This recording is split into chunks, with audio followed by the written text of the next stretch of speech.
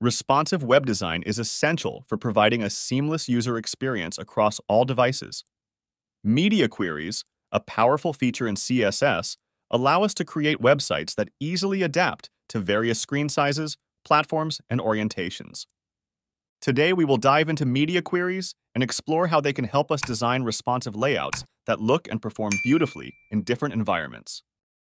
Welcome to Optimistic Web, where we explore the world of CSS and front-end development one step at a time.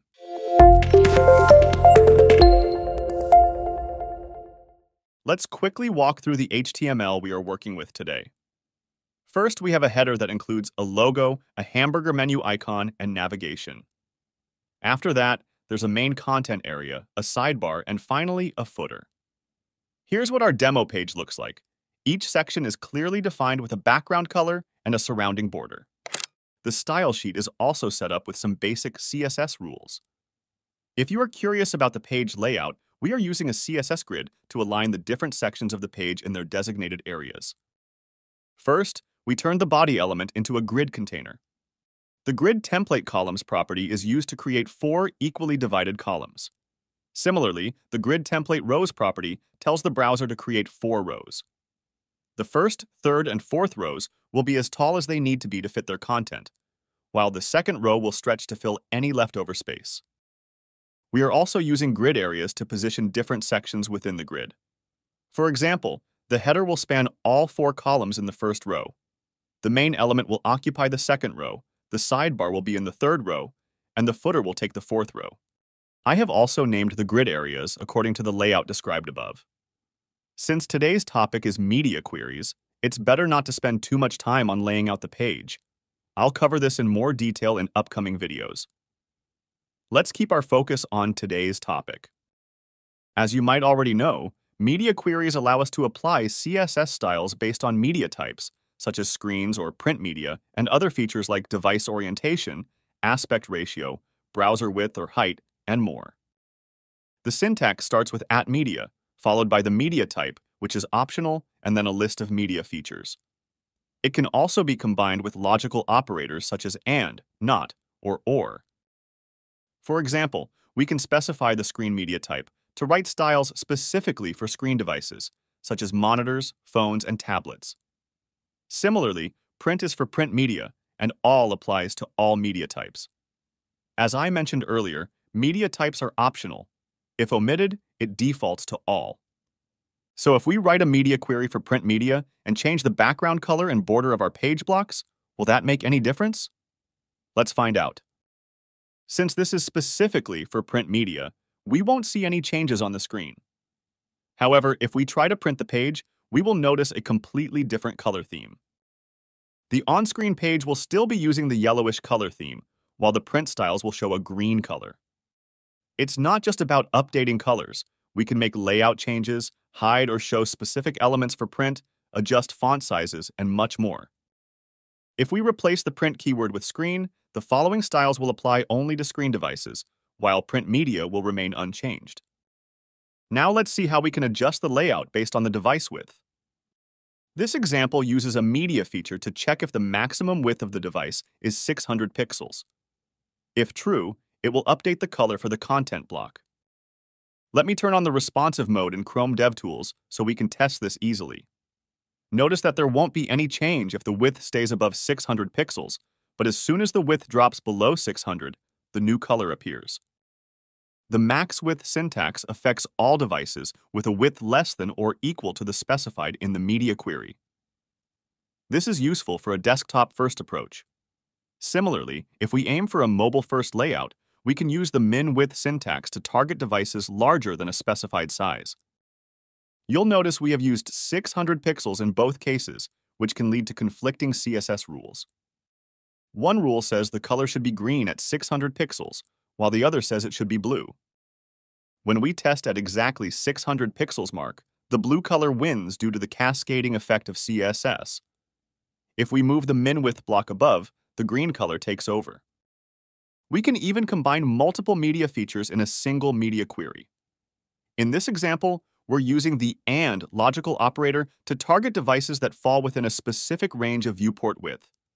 it will affect devices that are equal to or wider than 600 pixels, but equal to or narrower than 800 pixels. So if we stay below 600 pixels, the default color is visible, but between 600 and 800 pixels, the green color is applied. Now, if we add the screen media type, this CSS block will only affect screen devices with a viewport width between 600 and 800 pixels. Without specifying a media type, it will default to all devices, including print media. With the newly released range syntax, this can be further simplified and written more efficiently. For instance, the following two media queries are similar. The first one targets devices with a maximum width of 599 pixels, while the second one selects devices with a width of less than 600 pixels, which is effectively the same. Similarly, these two examples will have the same result. The first one affects devices with a minimum width of 600 pixels, and the second one targets all devices with a width of 600 pixels or more. Using the new range syntax, we can simplify this example. It's like saying, select all screen devices with a width of 600 pixels or more, but 800 pixels or less. Now let's explore a few more media features. Apart from the width, we can also target devices based on their orientation. This example will target all devices in landscape mode, which means the width is greater than the height. As you can see, when the width is larger than the height, the header section updates with the new color theme. The orientation feature can take one of two values, landscape or portrait. Next, we have the OR logical operator. It can be used either with a comma separator or the OR keyword. Both of these media query blocks will target devices within the specified width range or devices that are being used in portrait mode. Then there's the NOT operator. It negates a media query, returning true if the query would otherwise return false. In the following example, it will apply to all devices that are not in portrait mode. There are many other media features that can be used with a media query. For example, the hover feature can be used to check whether the primary input device can hover over elements. The pointer feature detects whether the user has a pointing device, like a mouse, and how accurate it is. A coarse pointer means the device has limited accuracy, such as a finger on a touchscreen, while a fine pointer refers to a highly accurate device, such as a mouse. The Prefers Color Scheme feature is used to detect if a user prefers light or dark color themes. We can then adjust the color theme of the web page accordingly. Then there is Prefers Reduced Motion, which detects if a user has enabled a setting on their device to minimize non-essential motion. If so, we can tone down animation effects or replace them with more subtle movements. To keep the video short and focused, I won't cover the entire list of media features, but these are the most important ones. Now let's use these media queries to improve the layout of our demo page. As you can see, the current layout uses a single column where all sections span the entire width. While this works well for small screen devices, medium and large screens can utilize their space more effectively. We can write a media query targeting screens wider than 600 pixels and then update the layout to include two columns for the middle section. In this example, we are adjusting the grid areas so that the main content section spans three columns, while the sidebar occupies the fourth one. The header and footer remain unchanged, covering the entire width. This small update has significantly improved the layout by adjusting it based on screen size. We can also hide the hamburger menu icon if the screen width exceeds the specified threshold. And the navigation remains hidden by default, but becomes visible when the screen size goes above 600 pixels. Finally, our demo page uses a fully responsive approach to modern web design. We have explored media types, media features, and how to combine them using different logical operators to create media queries for various scenarios. With the help of media queries, we can create responsive layouts, adjust font sizes, hide or show specific elements, and cater to user-specific needs, such as reducing motion and adjusting color themes, to ensure the website is always optimized for different environments. That concludes our first video in the series on responsive web design. If you found this tutorial helpful, give it a thumbs up, share it with fellow developers, and subscribe for more front-end development tips and tricks.